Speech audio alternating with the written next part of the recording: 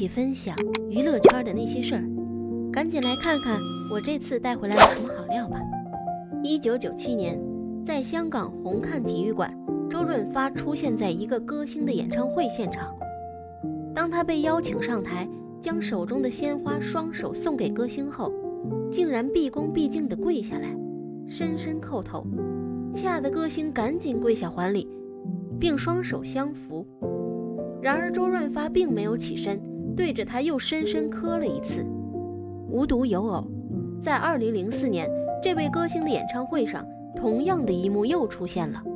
作为嘉宾的刘德华上台后直接下跪，表示对歌星的崇拜和尊重。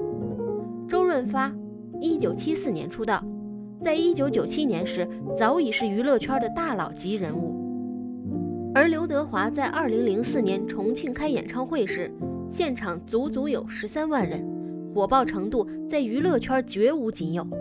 那么，能让这两位顶级大咖跪拜的歌星是谁呢？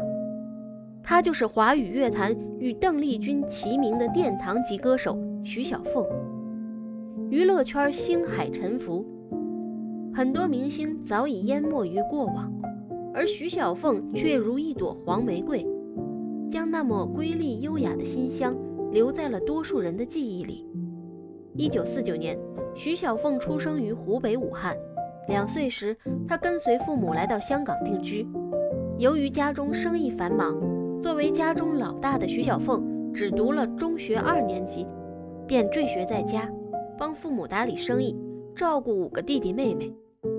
徐小凤性格安静有主见，是父母得力的帮手。她喜欢唱歌，在家进进出出时。嘴里总哼着流行歌曲，周围人都夸他唱歌好听。不管什么歌，到了他嘴里都有一种独特的味道。他没料到的是，正是这份独特，为他打开了一扇通往云端的天窗。一九六五年，十六岁的徐小凤和朋友一起参加香港知名歌唱比赛，本来抱着玩玩的心态，没想到却过关斩将，凭一曲《白光的恋之火》。夺得比赛冠军，有了这项荣誉，就意味着半只脚踏进了娱乐圈。兴奋的徐小凤刚把好消息告诉父母，便泼了一头冷水：“女孩子抛头露面，到处卖唱，成什么样子？”父母观念传统，认为歌手是不正当行业，极力反对他登台唱歌。他没有为此和家人翻闹，而是想办法说服他们。他给父母讲自己喜爱歌星的成长经历，拉他们去看演唱会，转变他们印象中歌手就是卖唱的错误观念。用了三年的功夫，徐小凤才终于说服父母同意他去唱歌。刚出道时，当年唱歌比赛的热度早已过去，他不急不躁，踏踏实实，一切从零开始。起初，他在夜总会驻唱。任何歌曲经他翻唱，总有全新的韵味。没过多久，他变成了夜总会最欢迎的歌手。随着名气越来越大，多家夜总会争相邀约，最多时他曾一晚上连赶十三个场子。一九六九年，在艺人文旧波的推荐下，二十岁的徐小凤顺利签约唱片公司，正式进入香港乐坛。只花两天时间，他就录制出十二首歌，分三张唱片发行，更有凭借一首《卖汤圆》成为家喻户晓的歌星。如同天生属于舞台，没有营销，没有包装，徐小凤就这么不疾不徐地在娱乐圈闯出了一片天地。上世纪七十年代，香港乐坛群星璀璨。徐小凤却闪着独特的光芒，熠熠生辉。她没有像其他歌手一样劲歌热舞、活力四射地展露青春，而是轻歌慢舞、浅吟低唱，韵味十足。她的歌声给人一种慵懒又舒适的感觉，犹如微风轻轻掠过心头，让人轻轻一颤，不自觉地便沉浸在其中。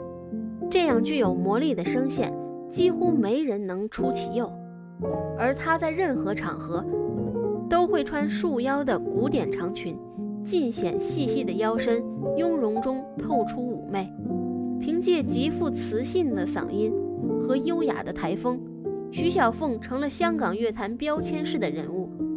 此后，她更是靠一曲《随想曲》获得香港电台十大中文金曲奖，奠定了歌坛殿堂级地位。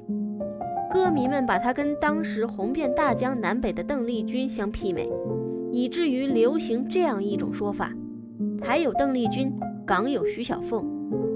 风头最劲的时候，他的出场费比当时的四大天王刘德华、张学友、黎明、郭富城加起来还要高。不仅在香港，徐小凤在台湾唱片的销量也连续多年稳居第一，成为奇迹。她也是唯一一个让央视春晚破例的人。央视春晚曾多次向徐小凤发出邀请，这是很多明星梦寐以求的事，她却因抽身乏术，只好婉拒。为了能在春晚有她的节目，最终央视节目组决定为她晚会修改规则，请她在香港录好歌曲，然后在春晚现场播放了她的唱歌影像。于是。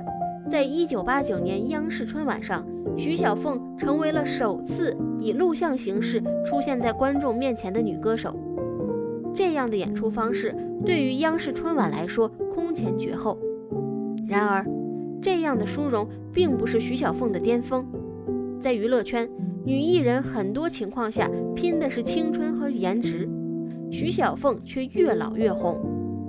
一九九二年，她四十三岁，在香港。红磡体育馆连开四十三场演唱会，这个记录至今无人打破，连被称为歌神的张学友都没有做到。从出道起，徐小凤的人生就像开挂了一般，名利滚滚而来，可她永远一副荣耀与我无关的样子，为人处事低调谦和，从不张扬。别人生怕被超越，她却非常愿意把经验分享给他人。还有意提携后辈，梅艳芳就是翻唱他的《风的季节》出道，将他视为恩师和偶像。周润发和刘德华都在公开场合感谢过徐小凤的帮助，刘德华更称她为妈妈。对同行古道热肠，对媒体也毫无架子。有一次，徐小凤演唱会上，香港名嘴查小欣试探地问：“可不可以先接受我的专访？”从不轻易许诺的徐小凤破天荒同意了。你是今晚第一个提出采访要求的人，我答应你。没过几天，徐小凤果然打电话跟查小欣商谈采访事宜。之后，徐小凤去别的电视台接受采访时，都是同样的服饰装扮，连手包都是同一个，以示公平。正是这样的为人处事，让舞台上万众瞩目的徐小凤。负面新闻极少，更是和绯闻绝缘。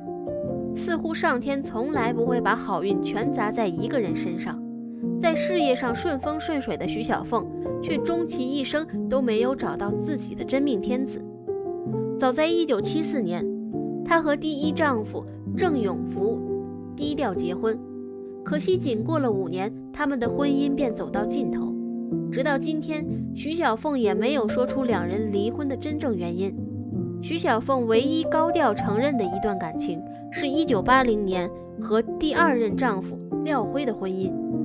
她和廖辉相识于一次买车的经历，就像在对的时间遇见了对的人，两人一见钟情，很快坠入爱河。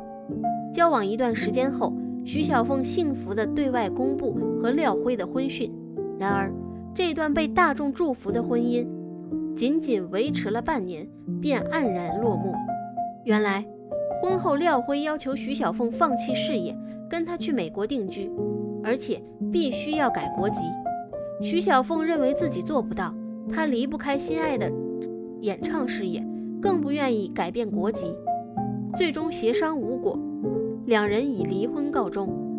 对这段婚姻，徐小凤有遗憾，也有不舍。我本想跟你淡然退，无奈此去不易。她在无奈中凄美的唱词，就是当时内心的真实写照。两次感情创伤让徐小凤把自己包裹得更紧。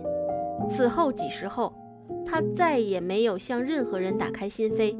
有一次，徐小凤接受采访，记者问她：“一个人生活会不会感到孤独？”她说：“找到一个情投意合的人很难，但真的错过了也不必强求。想想得到那么多人认同，又很幸运的遇到一些好歌，这些幸运便盖过了许多无奈。有的人不开心，是因为总是看见失去，而徐小凤却总能看见得到。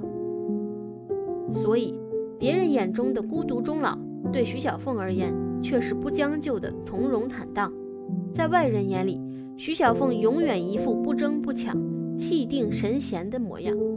也正是这份淡定，反而让她财运亨通。八十年代时，随着钱越赚越多，怎么理财成了徐小凤面临的问题。当时人们疯狂炒股，将大把大把的钱全投进股市，收益颇丰。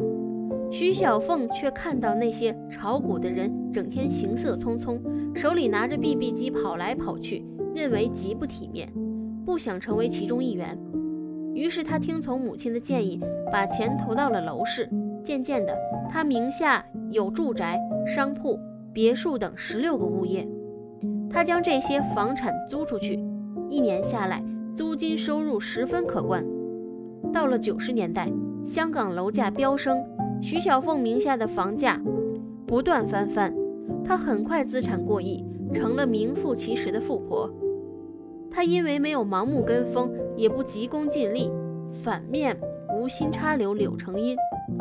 赚得盆满钵满，名利双收后，徐小凤越发低调谨慎。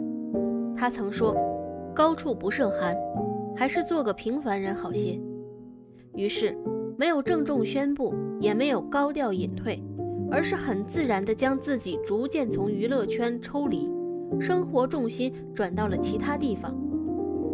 当数年后有人再见到徐小凤，眼前是一位雍容富态。一脸愉悦平和的平凡女人，如今七十二岁的徐小凤过着安逸舒服的晚年生活，没有因为无儿无女而过得不顺心。每天看书、听音乐、和朋友聚会，精神和物质都十分富足。有人说，徐小凤似乎得到了上天的偏爱，一生顺风顺水，令人羡慕。其实，人生不在于是否抓到一手好牌。而在于能不能打出最高水平，想要的努力争取，得到时好好珍惜，不沉溺于过去，不纠结于未来，真正能成就自己的，是做好当下。这也许就是徐小凤幸福的秘密。那么今天我们就聊到这里了，请您点击订阅，打开小铃铛，让我每日准时为你播报明星的趣闻趣事。我们明日不见不散。